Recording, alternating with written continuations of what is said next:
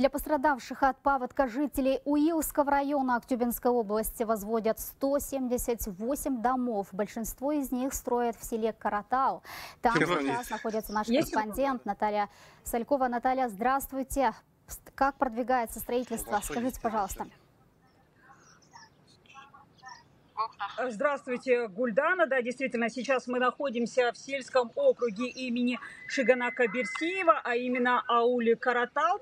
А, на своих кадрах вы сейчас можете видеть, как выглядело село во время весеннего паводка. Тут было все затоплено водой, жители эвакуировали, они находились э, в районном центре. И вот так село выглядит сейчас. Оно напоминает одну большую строительную площадку.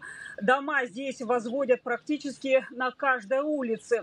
А я напомню, что во время весеннего паводка здесь подтопило 210 жилых строений. 132 дома признали непригодными для проживания. На их месте возводят новые. 60 семей пожелали переехать в готовые дома.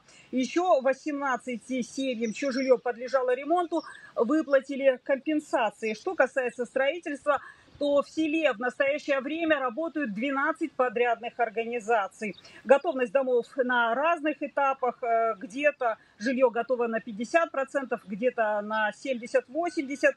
Отмечу, что во время паводка пострадали и социальные объекты. Подробнее об этом до эфира нам рассказал Аким сельского округа. Давайте послушаем.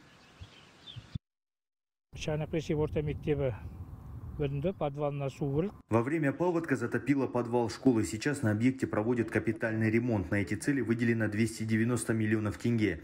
Помимо этого, текущий ремонт проводим в интернате. У нас будет новый детсад, также проведем капитальный ремонт спортивного комплекса.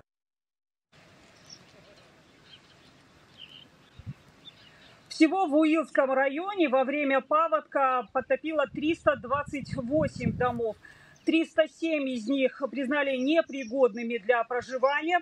А для 129 семей приобрели готовые дома. Остальные ждут окончания строительства. На этом у меня все. Гульдана. Наталья, благодарим вас за информацию. А, это наш был корреспондент Сактубе Наталья Салькова.